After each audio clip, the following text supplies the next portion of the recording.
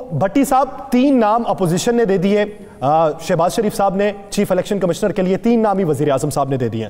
تو وزیر اعظم صاحب نے جو نام دیے، ان کا بیک گراؤنڈ کیا ہے اور ان پہ اپوزیشن کو تحفظات کیا ہو سکتے ہیں۔ پہلا سوال یہ۔ دوسرا یہ کہ اگر معاملہ فہم و تفہیم سے ہی حل ہو رہا تھا، تو عدالت تک جانے کی کیا ضرورت تھی؟ یاسر چیف الیکشن کمیشنر کی تعیناتی کا معاملہ بہت دلچسپ صورتحال اختیار کر چکا ہے۔ اس سے پہلے جب بالکل واضح طور کے اوپر تھا کہ موجودہ چیف الیکشن کمشنر سردار محمد رضا، جن کی مدت ملازمت آج پوری ہو جائے گی، پانچ سال تک انہوں نے الیکشن کمیشن میں اپنی خدمات سر انجام دیں۔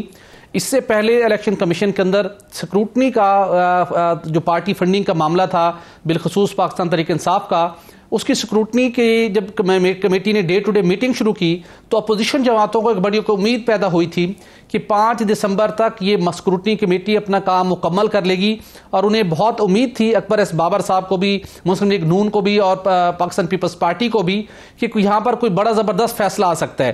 لیکن اچانک جب ڈی جی لا چھٹی پر گئے، وہ معاملہ بارہ دسمبر تک پہنچا اور آگے جو مشاورت کا عمل شروع ہونا تھا، جو اپوزیشن لیڈر نے بر وقت انہوں نے شروع کر لیا تھا، تین نام بھی انہوں نے تجویز ریلیز کیے تھے تاکہ چیف الیکشن کمشنر کی تعیناتی کا عمل مکمل ہو جائے، لیکن مسلم پاکستان طریقے انصاف نے تھوڑا سا ٹائم گین کیا اور اس کے بعد انہوں نے وزیر اعظم نے آج اپنے تین نام فائنل کر دی یہ نام بڑے دلچسپ صورتحال بتا رہے ہیں۔ یہ معاملہ تو حل ہو جائے گا، لیکن امپورٹنٹ یہ ہے کہ جو تین نام اپوزیشن لیڈر شباز شریف صاحب کی جانب سے تجویز کیے گئے، اس کے اوپر پاکستان طریقے انصاف نے اعتراض اٹھائے۔ ان کے اوپر ان کا ان کا وزیر اعظم کا، اس کے اوپر اتفاق نہیں ہے۔ تو وہ تین نام تو آؤٹ آف ڈسکشن ہو گئے کہ ان میں سے کسی نام کے اوپر اتفاق رائے ہوگا۔ اب سب کی نظریں اس بات پر جمی ہوئی تھی کہ وزیر اعظم عمران خان صاحب کون سے ایسے تین نام تجویز کریں گے جس کے اوپر اپوزیشن لیڈر بالخصوص شباشی صاحب ایگری ہو سکتے ہیں۔ اور آپ جان کر حیران ہوں گے کہ جو تین نام تجویز کیے گئے ہیں تینوں ریٹائرڈ بیوروکریٹس ہیں۔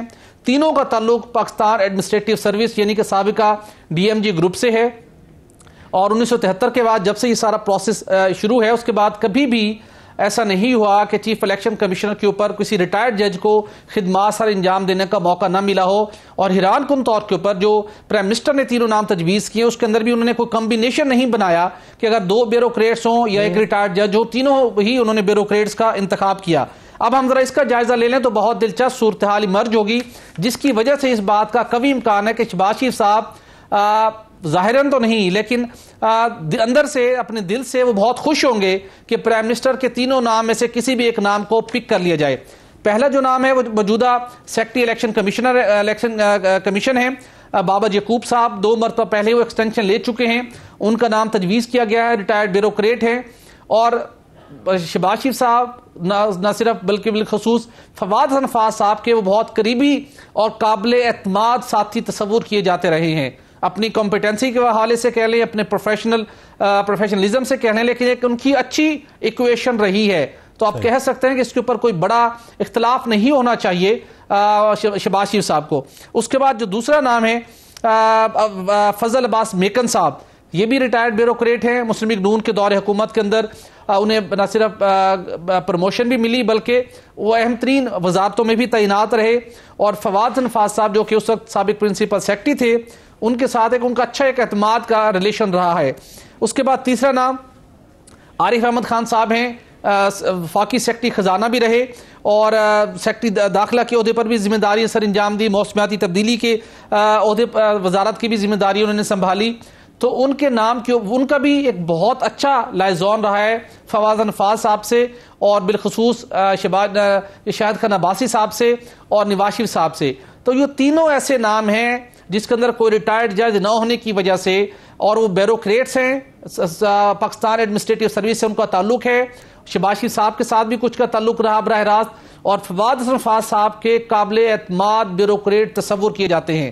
تو اس وجہ سے بہت سے لوگوں سے ہماری بات ہوئی، جس کی وجہ سے انہوں نے کہا کہ اس بات کا کبھی امکان دکھائی دیتا ہے کہ شباز شریف صاحب پرائم منسٹر کی اس ان پرپوزڈ جو ان کے تجویز کو، تجویز کردہ نام ہے اس میں سے کسی ایک نام کو پک کر لیں گے اور چیف الیکشن کمیشنر کی تعیناتی کا معاملہ جو کہ سپریم کورٹ آف پاکستان میں پہنچ چکا ہے متحدہ اپوزیشن کی جانب سے تو وہ باہر ہی ریزالو ہو جائے گا اور اس کے بعد جو ممبر سندھ اور بلوچستان کی تعیناتی کا معاملہ ہے وہ بھی احسن طریقے سے طے پا جائے گا چونکہ اس پہ پہلے ہی حکومت اور اپوزیشن کے درمیان ایک انڈرسٹینڈنگ ہے کہ ایک صوبے کا جو ممبر ہے وہ حکومت کی مرضی کا آپ اپوائنٹ کر دیں اور دوسرا اپوزیشن کی چوائس سے۔ تو اب سندھ کے ممبر کے اوپر تھوڑا سا نون اور پاکستان پیپلز پارٹی کے اندر تھوڑے سا عدم اتفاق ہے شاید وہ بھی اتفاقی رائے میں ڈیولپ ہو جائے گا۔